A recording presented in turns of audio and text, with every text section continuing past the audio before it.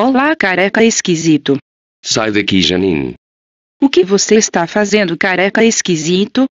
Eu estava relaxando tranquilamente até uma pirralha chata aparecer.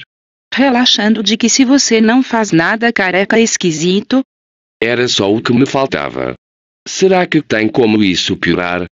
Troll, vim cobrar o aluguel. Eu em minha grande boca. Pois fique sabendo, Partman, que você não pode me cobrar o aluguel porque a Janine está aqui. E o que tem isso a ver? Você não pode me insultar ou me bater na frente de uma criança, porque isso seria um mau exemplo. Bom, nisso você tem razão, Troll. Eu vou embora, careca esquisito. Até mais. Você fica aqui, Janine. Mas eu preciso ir ao mercado com a mamãe careca esquisito.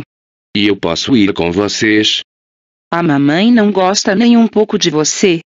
Não se preocupe, Troll. Quando a Janine for embora, eu vou te dar a lição que você merece. Pois fique sabendo, Partman, que a Janine me idolatra e jamais sairia de perto do poderoso Troll. Espera aí, para onde ela foi? Volte já aqui, Janine. A Janine foi embora. Então você já sabe, não é, Troll? Aí, oi. Com o Partman eu já apanhei de todos do bairro. Olá, careca esquisito. O que houve com você? O que houve comigo? Por sua culpa o Partman me encheu de porrada. Porque você foi embora sem minha autorização.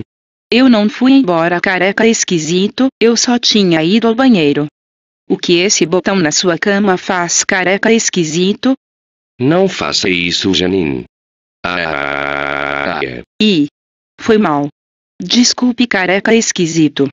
Até mais careca esquisito. Puta que pariu.